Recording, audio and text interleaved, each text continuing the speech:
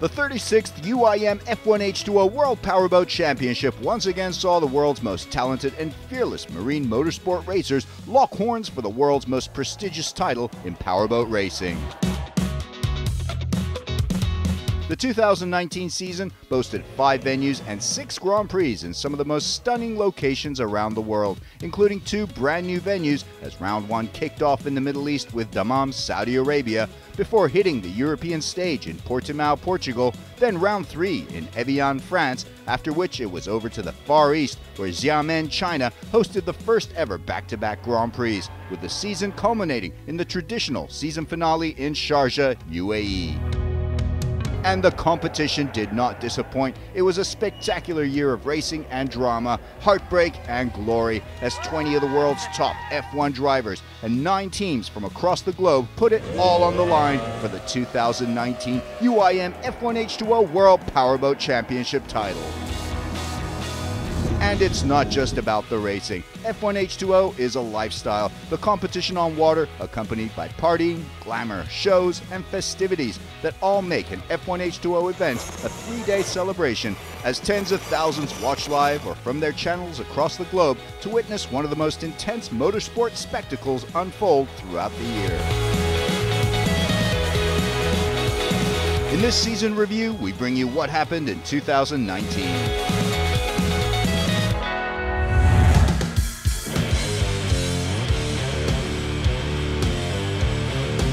Round one of the 2019 season was in Dammam, Saudi Arabia, marking the first Grand Prix to be raced in the kingdom since 2004, and it would be the 280th UIM F1H2O Grand Prix race.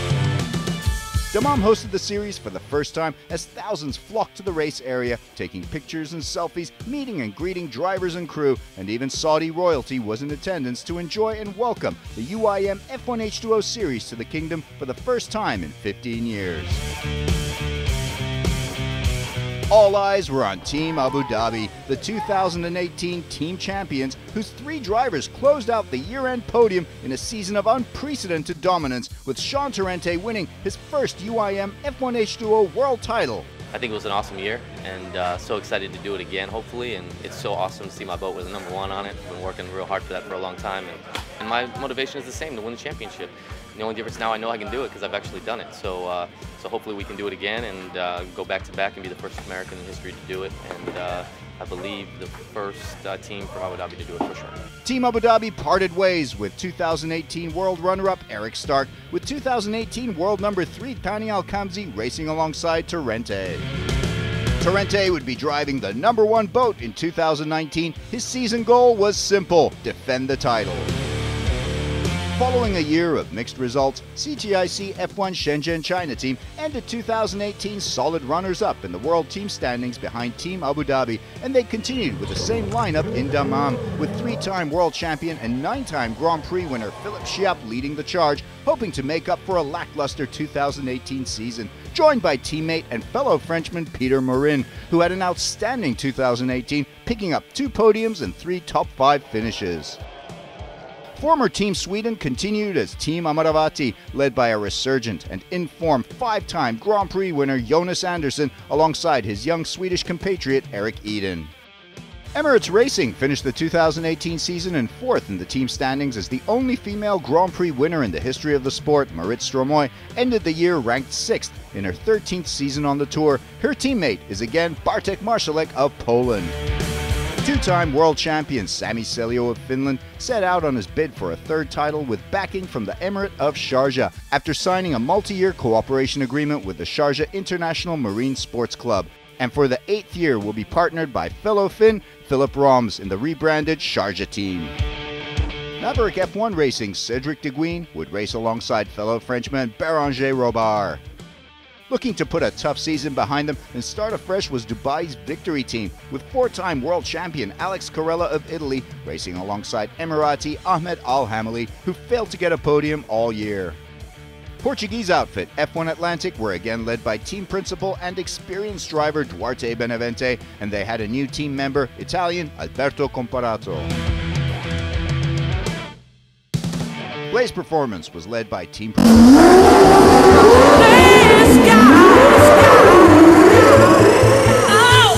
And 12 time Grand Prix winner Francesco Cantando, who was joined by American Greg Foster, a top racer in the North American Tour. And so the first Grand Prix of the year was set to begin. The weather, however, did not cooperate in Dammam. Rough winds, big waves, choppy seas, and that meant the official Rebellion qualifying had to be cancelled. And although there was hope for respite on race day, UIM F1H2O officials decided the conditions were unsafe for racing. And so all eyes were on round two.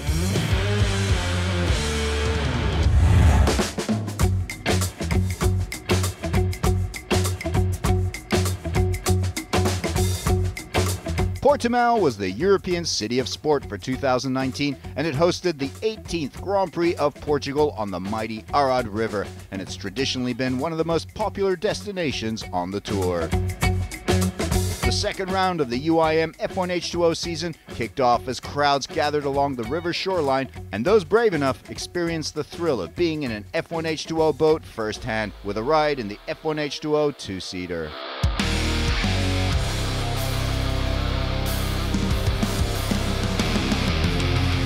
There were 19 drivers from nine teams looking to post their first points of the season after the weather disrupted season opener in Dammam, Saudi Arabia.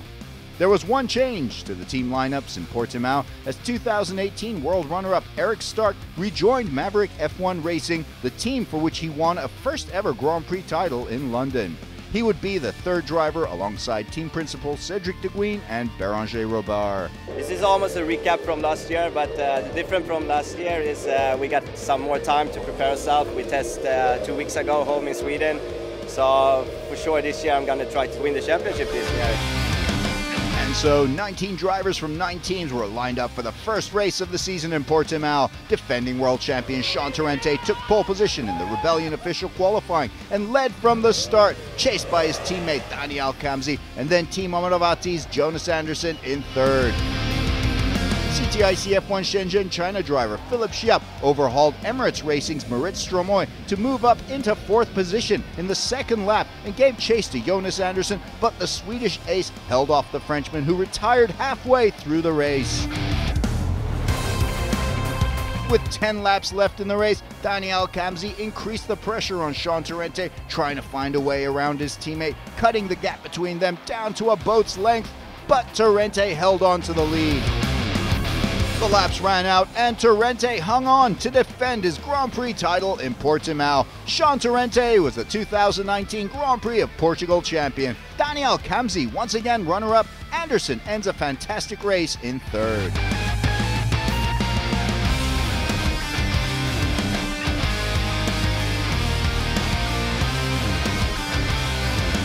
Sean Torrente kicked the new season off in style, earning 20 points. His teammate Al Kamzi ensuring that defending World Team Champions Team Abu Dhabi continue where they left off atop the World Team standings. I guess the first 20 laps, the boat was working amazing. I was lapping boats. I built up a seven second lead, and I was kind of just pacing. I had a good pace going. And then I go down to the bridge corner, and I hit the down. I fly past the corner, and I'm like, what, what happened there? And then I start looking at the, the, the data, and I realize the trim isn't working all the time. I was able to hang on, and Tani knew I was wounded because our team knew I was wounded, and he was coming, and I was just doing everything I could just to hang on to the damn thing and get it to the end, and thankfully I did, and we finished 1-2, and man, it's like a dream come true again.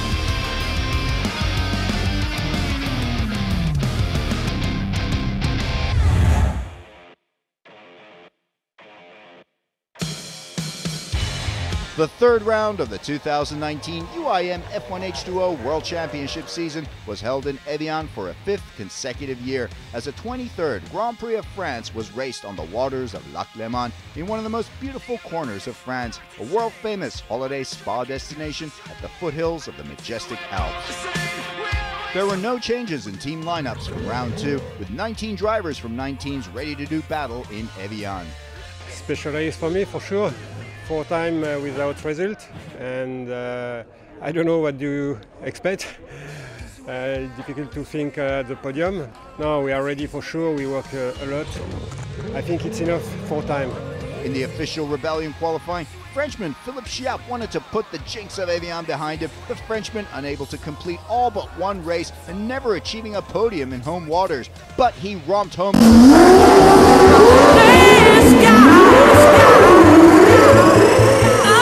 To a convincing pole position win over Stromoy, Anderson, and then Torrente in P4 on the starting pontoon.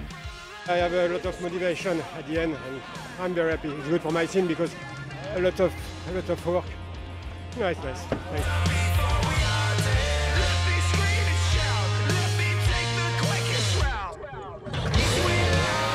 The three-time consecutive world champion was off to a great start with a comfortable lead.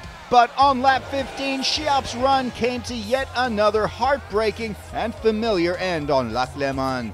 That moved Team Amaravati driver Jonas Anderson into the lead. Two Team Abu Dhabi drivers battled for second position, Thani Al Khamzi passing Sean Torrente. But before the lap could be completed, Maverick F1 Cedric de Deguisne barrel rolled, bringing out the yellow flag, and Alkamzi was cruelly bumped back down to third. From the restart, Anderson was able to control the pace out front, but was unable to shake off Torrente, his lead fluctuating between two and four seconds. Behind them, Thani Al Khamzi and Marit Stromoy had a titanic battle. Stromoy passing Alkamzi on lap 25 before Alkamzi struck back next lap. In the end, the Swedish driver held on to take a well-deserved sixth career victory. Jonas Anderson is the Grand Prix of France champion. Yeah, I mean, I had a perfect start. The setup was try to beat uh, Chiappe to the first turn. I didn't do it. I took Martin the start, and then uh, Chiappe was just leaving. He was so fast. When he break down, I just tried to see the gap to Sean, and I think Sean is uh, more smart this day than before, so he didn't push too much for uh, because here in Evian it's very difficult with all the waves. But it was quite easy race. Thani Al Khamzi finished third ahead of Stromoy, and Alex Carella finally ended his string of DNFs with sixth place. In the world standings at the end of round three in Evian, Torrente led three points ahead of Anderson in second, with Al Kamzi third ahead of Stromoy and Peter Morin.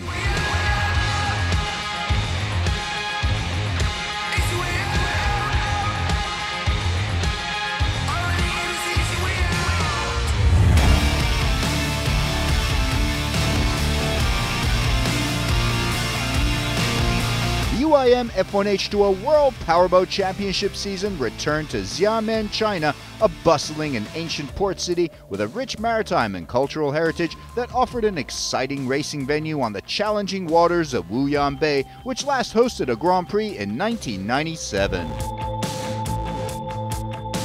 In a historic new format for the UIM F1H2O Tour, Xiamen would host the first ever back to back races with rounds 4 and 5 of the 2019 season held over two days the Senstar Grand Prix of Xiamen and the Senstar Grand Prix of China. There were 18 drivers from nine teams competing in the two Senstar Grand Prix in Xiamen with a few changes. Alex Carella switched places with Eric Stark, Carella joining Maverick F1, and Stark filling Carella's shoes in Victory Team. Team Amaravati reverted to Team Sweden, led by Jonas Andersson, who was second in the world standings behind Torrente going into the Grand Prix of Xiamen, but he was on a roll with the win in Evian, and a good result in China could get him on track for a first ever world title. Anderson's biggest rival was world standings leader and round two winner in Portimao, Sean Torrente. The American wanted to seal his second world championship in Xiamen, where there were two races and a maximum 40 points on offer. Maverick F1's David Delpin was a victim of the tough conditions, flipping over in practice, a sign that teams and drivers had their work cut out for them preparing their setups for the two races. In the official Rebellion qualifying, Philip Chiappe came very close to pole position before his boat blew over. In Q3, it was neither Torrente nor Anderson who took charge, but Alex Carella, who stunned the field in qualifying to take his first pole position in 18 months. Despite a jump start by Peter Morin, Carella soon took control of the race in his bid for a 16th career Grand Prix title for his new team Maverick F1. Behind Carella, Chiappe slipped back to P2 as Jonas Anderson moved up to chase Carella, with Stromoy just behind Anderson, never letting the Team Sweden driver out of her sight, putting the pressure on for 32 laps. Sean Torrente, the defending world champion and world standings leader. Going into Xiamen, started back in ninth, making his way up to fifth, but he was overhauled by his Team Abu Dhabi teammate Thani Al Khamzi. But when Chiappe and then Al Khamzi broke down in quick succession, Torrente moved up to fourth. Out ahead, having taken the lead in the opening lap, Alex Carella never looked back, closing out a start to finish race win to put two seasons of frustration behind him. Anderson held Stromoy off for runner up. Torrente came in fourth. That result was enough to put Jonas Anderson on top of the world standings at the end of Xiamen, three points clear of Torrente, with Stromoy moving up into third, followed by Al Khamzi fourth and Carella fifth.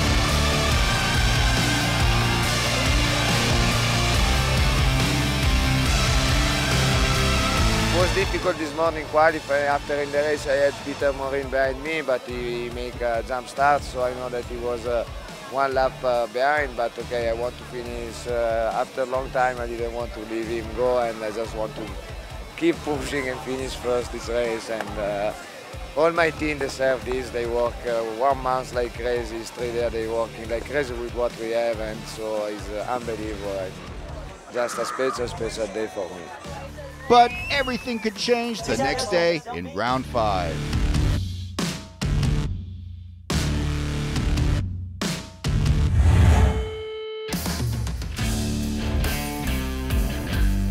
The fifth round of the UIM F1H2O World Powerboat Championship would be the day after the Grand Prix of Xiamen with the Senstar Grand Prix of China, marking the second race in the first ever back-to-back Grand Prix in the sport. Yeah, I mean it's it's really tough because we have been working to rebuild the engines for two boats this uh, yesterday evening and almost in the night. So it's it's tough with a small team, but uh, everything so far feels very good. So hopefully it's stay in one piece.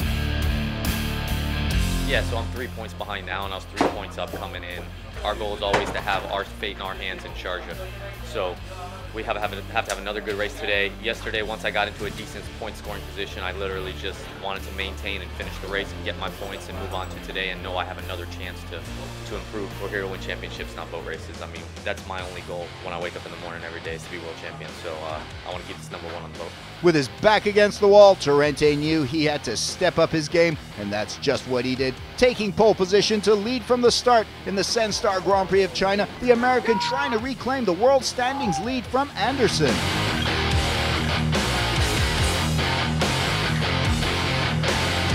The conditions were very rough on Wuyuan Bay as the winner from the previous day, Alex Carella, blew over in an attempt to overhaul Torrente.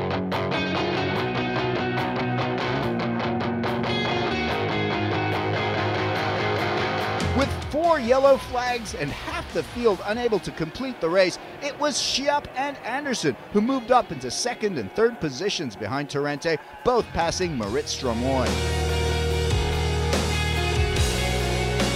They brought the pressure on Torrente, but the American held his nerve and closed out the win, his second of the year, which shot him back into the lead of the title race. Five points clear of Jonas Anderson in second, Stromoy in third on 37 points, then Al Khamzi fourth.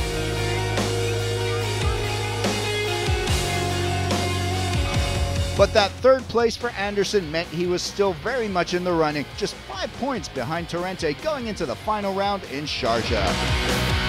Crazy race. Everybody was coming for me. I was just trying to manage the race. You know, I'm just thinking about the championship. I knew Jonas was back there in fourth and fifth. He actually ended up third, but um, it's just about getting in front of that championship. We're so happy to get the win, especially after yesterday, man. We, we just got our butt kicked yesterday, and the team all rallied, and, and we just did a great job, all of us together, the whole team, from front to back, and we come back and got a win, a pole and. And so the UIM F1H2O World title would be decided once again in the last round in Sharjah.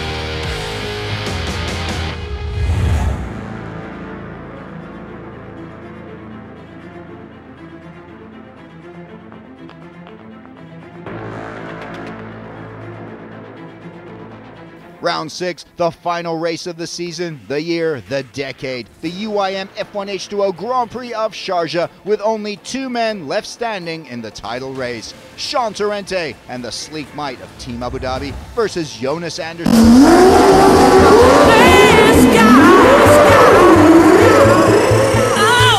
And the scrappy, never say die tenacity of Team Sweden. The showdown was on Khalid Lagoon, where world champions have been forged for nearly two decades. Sharjah hosting the traditional season finale of the UIM F1H2O World Championship since 2004. Jonas Andersson has never won a world title in 14 years on the tour, and this was as close as he'd ever come to a shot at becoming world champion. But the odds were stacked against him. He had to finish the race in first place with at least one boat between him and Torrente. Yeah, for sure. This weekend we have some pressure. We can win the championship, and it has never happened before. So, but I have nothing to lose. Try to make uh, a clean race and uh, have some luck to to finish with uh, the engine in one piece. But waiting to throw a wrench in the championship contenders' plans are a formidable cast of former Sharjah winners and world champions who want to finish the year on top of the podium. Former Sharjah Grand Prix winner Marit Stromoy, three-time world champion Philip Chiappe of CTIC F1 Shenzhen, China, four-time world champion Alex Carella of Maverick F1, Eric Stark of Victory Team, and Thani Al-Khamzi, Torrente's Team Abu Dhabi teammate and fourth going into Sharjah. Jonas Andersson seized the advantage with a brilliant lap in the Rebellion official qualifying, taking his fifth career pole position and starting four places ahead of his rival Sean Torrente, with the likes of Chiappe, Stark, and Al-Khamzi standing between the two world title contenders. Andersson knew he had to hold the lead. Torrente knew he had to at least finish second to retain the world title.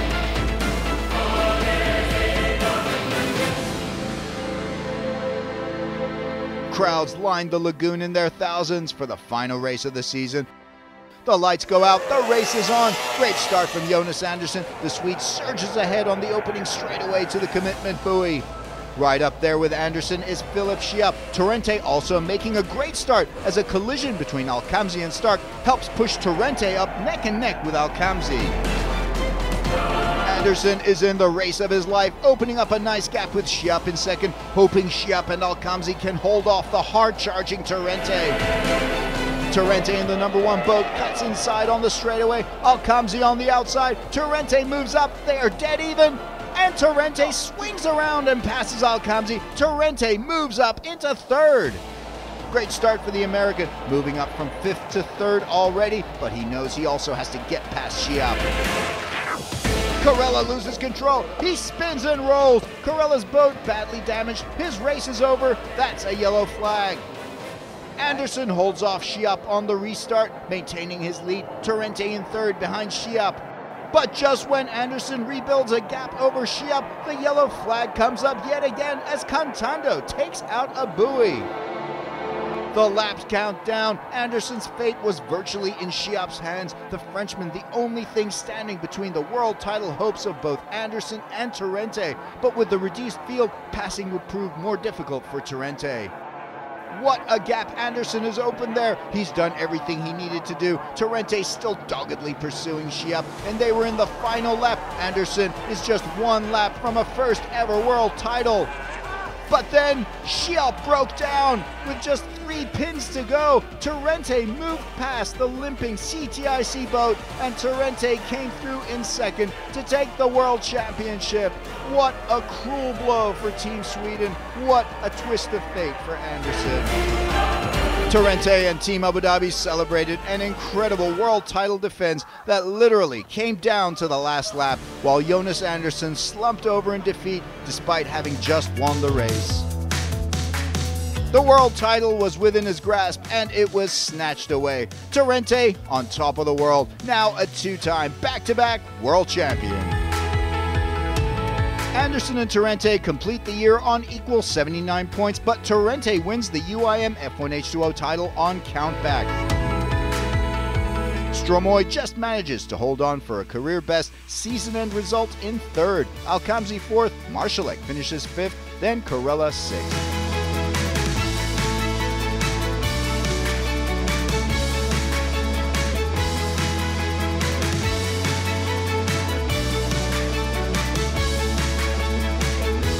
Team standings, Team Abu Dhabi once again retained their world team title comfortably with. Sky, sky. 106 points. Team Sweden were world runners up on 89 points, and Emirates Racing finished third. Uh, I just pushed like crazy, and I, I, once I was in third, I knew I was in striking distance. I just kept putting the pressure on, putting the pressure on, and finally the seven broke. And man, I saw it with a lap to go. I couldn't believe it. And my radio man's going crazy. I'm trying to hold it together for one more lap, and uh, I couldn't believe it, man. It was awesome. I'm so thankful for these guys um, and everything they do for me. Um, we just fight to the end. Today was exactly who we are. We just fight and fight and fight and fight until until we get what we need.